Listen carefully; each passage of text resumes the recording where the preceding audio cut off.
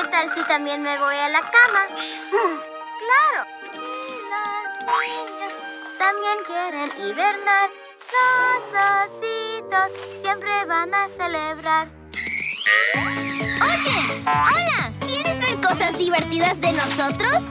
Solo haz clic aquí y suscríbete a nuestro canal. Y no olvides hacer clic en la campana para que puedas ser el primero en recibir las actualizaciones.